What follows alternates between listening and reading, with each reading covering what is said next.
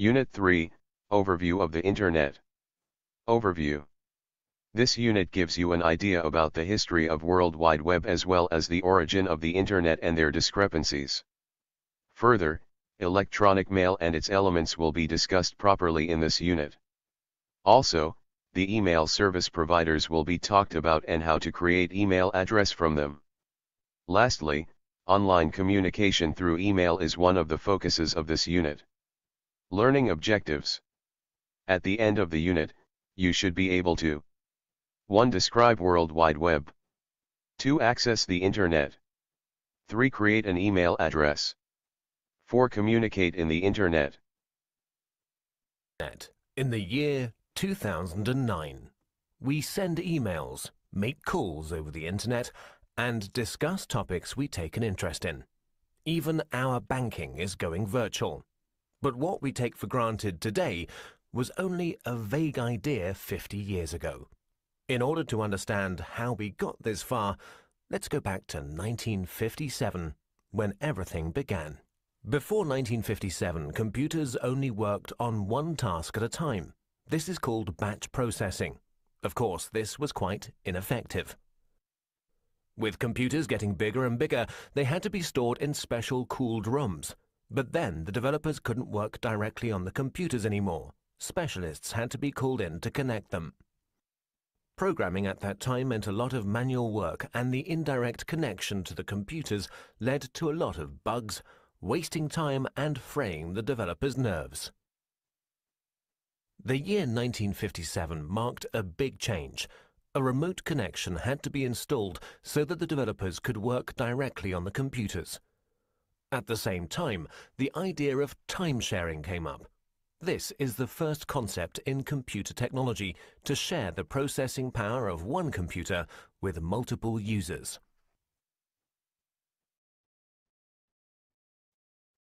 On October 4th in 1957, during the Cold War, the first unmanned satellite Sputnik 1 was sent into orbit by the Soviet Union. The fear of a missile gap emerged. In order to secure America's lead in technology, the US founded the Defense Advanced Research Project Agency in February 1958.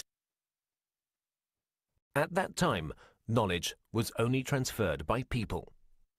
The DARPA planned a large-scale computer network in order to accelerate knowledge transfer and avoid the doubling up of already existing research.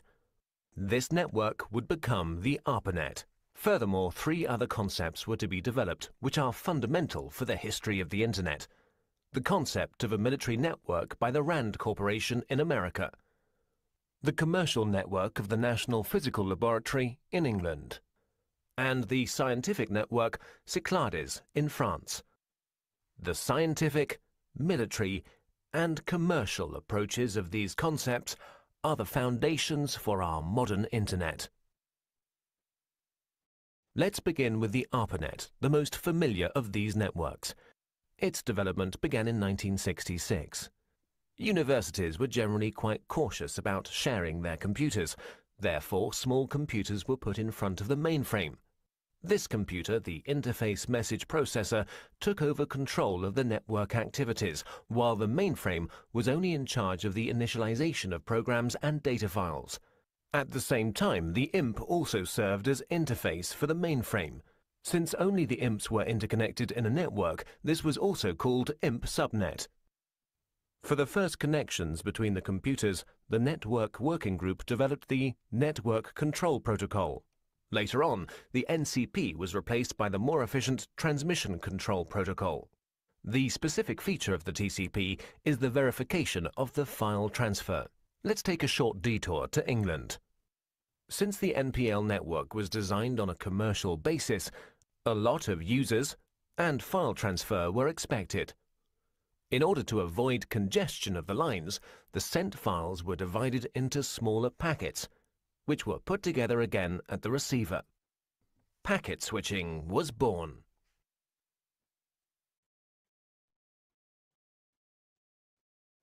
In 1962, American Ferret aircraft discovered middle and long-range missiles in Cuba, which were able to reach the United States.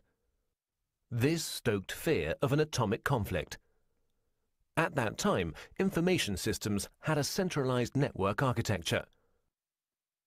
To avoid breakdown during an attack, a decentralized network architecture had to be developed, which, in case of loss of a node, would still be operative. Communication still used to work through radio waves. That would have caused problems in case of an atomic attack. The ionosphere would be affected and the long-wave radio waves wouldn't work anymore. Therefore, they had to use direct waves, which, however, don't have a long range. A better solution was the model of a distributed network. Thus, long distances could be covered with a minimum of interference. Another milestone followed with the development of the French network Cyclades. Since Cyclades had a far smaller budget than ARPANET, and thus also fewer nodes, the focus was laid on the communication with other networks. In this way, the term Internet was born. Moreover, Cyclades' concept went further than ARPA's and the NPL's. During communication between sender and receiver, the computers were not to intervene anymore, but simply serve as a transfer node. Cyclades' protocol went through all machines using a physical layer that was implemented into the hardware, providing a direct connection with the receiver, an end-to-end -end structure. Inspired by the Cyclades network and driven by the incompatibility between the networks, their connection gained in importance everywhere. The phone companies developed the X.25 protocol, which enabled communication through their servers, in exchange for a monthly basic charge, of course. DARPA's transmission control protocol was to connect the computers through gateways. And the International Organization for Standardization designed the OSI reference model. The innovation of OSI was the attempt to standardize the network from its ends and the channel's division into separate layers. Finally, the TCP assimilated the preferences of the OSI reference model and gave way to the TCP IP protocol, a standard which guaranteed compatibility between networks and finally merged them, creating the Internet. By February the 28th, 1990, the ARPANET hardware was removed, but the Internet was up and running.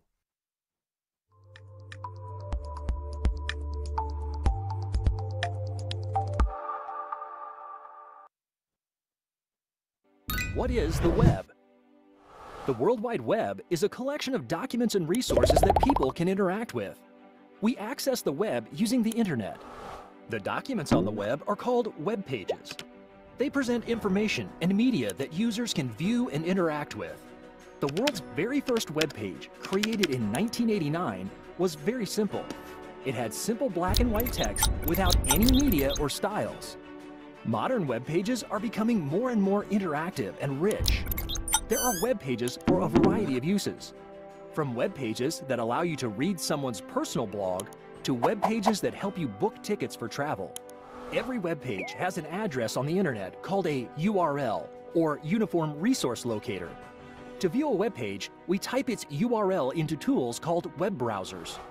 Web browsers send requests over the internet to find web pages using their addresses and load them onto our screens so we can view them and interact with them. Using the web, we can access almost any type of information at the press of a button. Sir Timothy John Berners-Lee is an English computer scientist best known as the inventor of the World Wide Web.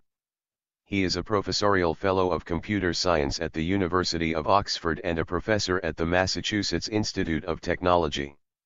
Berners-Lee proposed an information management system on March 12, 1989, then implemented the first successful communication between a hypertext transfer protocol client and server via the Internet in mid-November.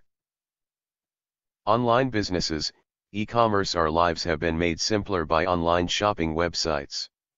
E-commerce companies offer really outstanding services with just a single click, which is an excellent use of the internet. Cashless transactions, every retailer offers its consumers the option to pay for their purchases online using a variety of digital payment apps. Education, a vast amount of instructional content is made available to everyone via any server on the internet thanks to the internet facility. People who can't go to actual classrooms can take any subject from the internet and learn everything there is to know about it while sitting at home. Social networking, people from all over the world are connected through social networking websites and applications. We may communicate with our loved ones who are far away by using social networking sites. Entertainment, the internet is also used to amuse people. Online entertainment alternatives abound, including watching movies, playing games, listening to music, etc. Surfing the internet. There are lots of things to consider nowadays when you want to surf the internet. At least the user must subscribe to an internet service provider, electronic communication devices, choose internet connectivity methods, and install web browsers. Internet Service Provider, ISP. These are companies that provides internet connections and services to individuals and organizations. ISPs may also provide software packages, such as browsers, email accounts, and a personal website or homepage. ISPs can host websites for businesses and can also build the websites themselves. ISPs are all connected to each other through network access points, public network facilities on the Internet backbone. Top Internet service providers in the Philippines. Converge ICT Solutions. Dito Telecommunity. Globe Broadband. One Sky. PLDT. Red Fiber. Rise. Smart Bro Home Wi-Fi. Starlink. StreamTech. Electronic Communication Device.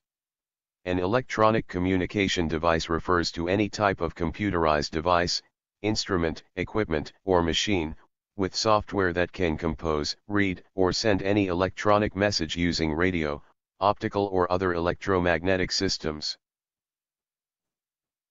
Sample of electronic communication device. Cars. Computers, desktop, laptop, palm top, Digital cameras. Ebook readers. Game consoles. Home appliances. Smartphones, Android or iOS. Smart TVs. Tablets, Android or iOS. Wristwatches. Internet connectivity. The term Internet connectivity refers to the way people are hooked up to the Internet, and may include dial-up telephone lines, always-on broadband connections, and wireless devices. Among these, wireless access to the Internet is the newest and, as of the early 2000s, had only reached a small group of users. Internet connectivity options. Broadband. Cable. Dial-up. DSL, Digital Subscriber Line. ISDN, Integrated Services Digital Network. Mobile. Satellite. Wi-Fi hotspots. Web browsers. A web browser, or browser for short, is a computer software application that enables a person to locate, retrieve, and display content such as web pages, images, video, as well as other files on the World Wide Web.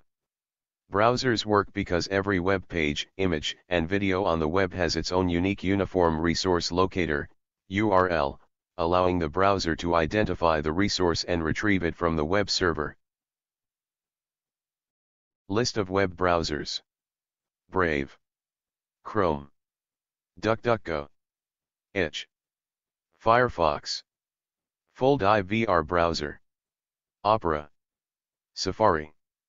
UR browser. Vivaldi. Electronic mail. Email, in full electronic mail, messages transmitted and received by digital computers through a network. An email system allows computer users on a network to send text, graphics, sounds, and animated images to other users. Components of email address. Email addresses are made up of three basic elements, the username, the at sign, at, and the domain name. Username, the username identifies a specific person or address in a domain. Whoever sets up your email address, you, your school, or your employer, selects the username. When you sign up for a free email account, for example, you can pick a creative username of your own. At sign, is the symbol in an email address that separates the name of the user from the user's internet address. Domain name, the domain name is determined by the email account's host or client, such as Gmail, Yahoo, or Outlook. It forms the section of an address after the at sign, as in at gmail.com, at yahoo.com, or at outlook.com. For professional accounts, the domain name is usually the name of the company or organization. Commonly used top-level domain, TLD, are .com, .org, .edu, .net, and .gov. Email Service Provider, ESP. An email service provider allows users to send email campaigns to a list of subscribers. Email service providers are technology companies that make it easier for people to build email lists and send emails. As email marketing has become a more popular marketing channel, more email service providers have sprung up to provide differentiated services. List of the most popular email service providers. AOL Mail. AWeber. Constant Contact. Gmail. GMX Mail. HubSpot. iCloud Mail. Mail.com. Outlook. Proton Mail. Sendinblue. Titan. Yahoo Mail. Yandex. Mail. Zoho Mail. Create email address. Factor to consider then creating an email address is to choose what email provider that suits your needs. Take note, each of the email providers have their own styles when rendering their services. By the way, an email provider is the company that gives technical supports during the sending and receiving of electronic messages. In this unit, you are required to utilize gmail.com to create an email address. It is the best among to its competitors. Everybody loves it, so let's join the community. Some of the common attributes of an email services are easy to use, archive and storage capabilities, retrieve emails, security, filter spam message, etc. In this video, I'm going to show you how to create a brand new Gmail account and also take a look from a high level of the interface. Stick around.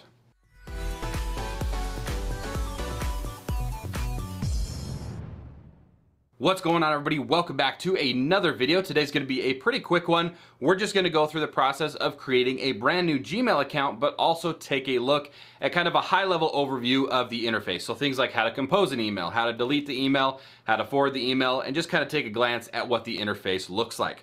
Now, for those of you that are new here, and if this is your first time here, welcome to the channel. I am Aaron from Help Cloud, and on this channel, we focus things like how-tos, unboxings, tech tips, tutorials, Basically, anything tech related is what we do on this channel. So if that is anything up your alley, consider subscribing. We'd love to have you here at the Help Cloud community. With that being said, let's go ahead and just jump right in. Heading on over to the computer, you're going to want to open up your browser of choice. In today's video, I'm just going to be using Google Chrome. And then you're going to want to head on over to gmail.com and we're going to be focusing on where it says create an account. It may look like a sign-in screen, but we're going to click on create an account. Now, there is a chance that it may look like something like this, where it's going to say get more done with Google or with Gmail. You're going to want to left click on create an account in this case. So anyway, it's going to take you to the same location, which is this page where it's going to create your account to continue to Gmail. You're going to want to have a first name, last name. You're going to want to come up with a username. This is what you're going to have to provide to somebody so they can send you emails. And then, of course, you're going to want to have a password that is at least eight or more characters with a mix of letters, numbers, and symbols. For today's demo, let's just punch in some information here. Now, this is where things can get uh, not necessarily tricky, but uh, you may have some trial and error here because when you type in a username, it may or may not be available. So this one, because it's unique enough, it is certainly available. You can use letters, numbers, and periods to create this username, but if we were to change this over to, we'll just say jerry.smith2020 at Gmail, you can see that this username is taken and it wants us to choose a different one. So sometimes it'll pop up a suggestion underneath here, but most of the time those suggestions are something that you're probably not going to remember because it usually consists of a bunch of uh, like just a few letters, so JS, and then a bunch of numbers after that. So I would encourage you just to go through and find something that you're going to remember, but also that is available. Once you've got your username taken care of, you're going to want to come on down to password and of course type in a password. Now, right now, because I'm typing through and this little I does not have a line through it, it's hiding the password, which is great if you're trying to create this at like a public library or something along those lines. You of course want to secure your password. Now, if it makes it easier and you're in the comfort of your own home or whatever, you can click the little I, which will put a line through it, and that'll show you the password that you did type in. So it kind of helps with uh, being able to see what you typed. Once you've got that information in there, just tap on next. Once you've clicked on next, it's going to take you to this page where it's going to want you to put in a phone number. It, they are optional and another recovery email address, also optional, but it's a good idea to have one or both in case you forget your password. There's a couple different ways that Google can use to verify who you are and make sure they get you a password reset sent. So in this case, I am going to do my phone number just because I know that's not going to change. And so you can type that in there. And again, if you have a secondary email address, maybe like at a Comcast or AOL, Yahoo, something along those lines that you have access to, type that in here because it's always good to have a couple different recoveries for that problem. So I'm going to leave the optional empty because this is a test account, so it's going to be deleted anyway. Any case, Again, you're going to want to type in or punch in your uh, your birthday. There are legal requirements on certain age restrictions. We'll just do December 18th, 1990. And then, of course, you can choose your gender. If you'd rather not say or you want to put something custom in there, you can do that as well. And then you're going to click on Next. If you'd like to, you can add your phone number to your account to use across services like video calls, messages, blah, blah, blah. You can click Yes, I'm in if you would like to have those. For this demo, I'm going to click a skip and of course, we're going to run through the privacy and terms. If you want to read through those, you can. And then I'm going to click on agree. Once it has finished creating your Gmail account, it's automatically going to take you into what they call the inbox or like the home. And you'll get a Google Meet now in Gmail. They've integrated a few things. You can just left click right here where it says got it. Now, from here, just kind of a quick overview of the user interface. Gmail by default breaks things into three different tabs. Primary is typically where you're going to find most of your generic emails between your friends or family or whatever you're emailing, you're going to find those under primary. Social are going to be things like Facebook, as you can see right here, or Manscaped. If you want to do some Manscaped stuff, you got that as well. But most of your social media stuff is going to fall under these. There are going to be some ads. And then, of course, the third one is promotions, marketing, all that good stuff is going to fall under the promotions tab. Now, you can go into the inbox settings here and make it to where all of these are consolidated under one uh, under the primary tab. We're not going to be doing that in today's video. We're just going to keep things pretty basic. So that being said, to create an email or to compose, you're just going to left click where it says compose. Going to pop up in the bottom right hand corner. You can type in, of course, your to. That's who you're sending the email to. So something like none none, non at none.com. Subject, of course, everybody you by now should know what the subject is of a Gmail. So we'll just say new email account.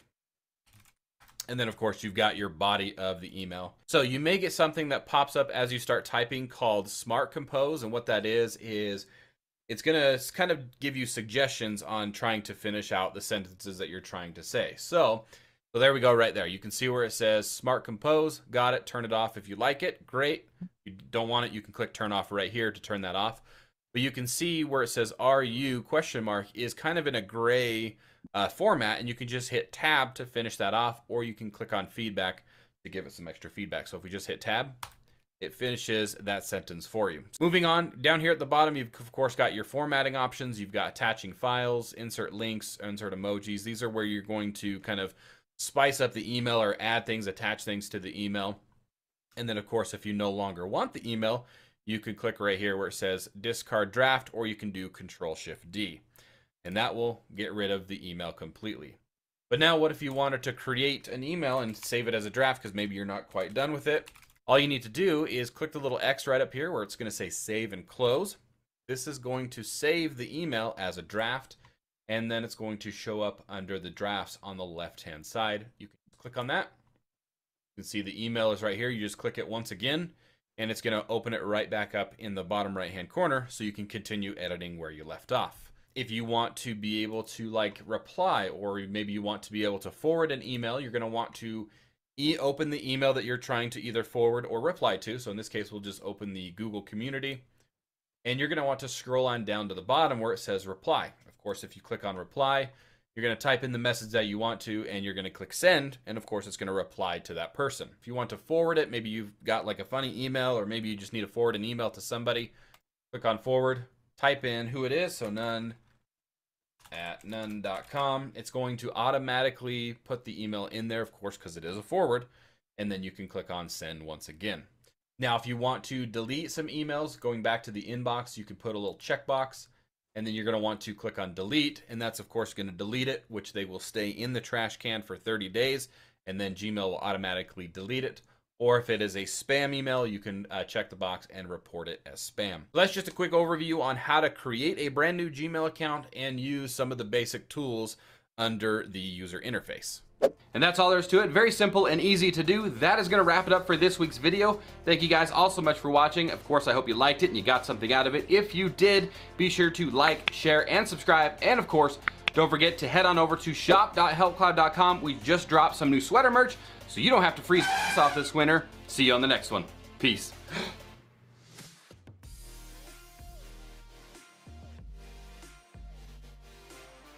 Communicate online. Online communication is a kind of communication between organization or individuals at starts and ends on the internet. Basically, it is how people pass information over the internet through a network of computers. Video conferencing, the second way to communicate online vividly and intuitively is via video conferencing. To make it, you just need a professional and noteworthy video conferencing solution. Email, Email is one of the digital ways of sending letters. It works almost the same as a traditional post office mail in that information is sent by one person in one location and received by another person in a different location. Social networks, another way to communicate online is through social networks. These platforms allow members to connect with their friends and make new friends from across the world. Audio conferencing, Apart from the above three ways of communicating online, you can also use audio conferencing to communicate online with your family members, friends, business partners, and students. VoIP, Voice over Internet Protocol commonly known as VoIP, is a combination of software and hardware that enable you to use the Internet to transmit telephone calls. Rather than using the public switched telephone network, PSTN, in VoIP, voice data is transmitted by using IP.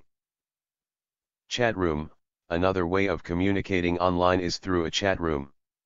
This is an area on the internet, typically communicated to a particular topic, where members can communicate and share their interests with others.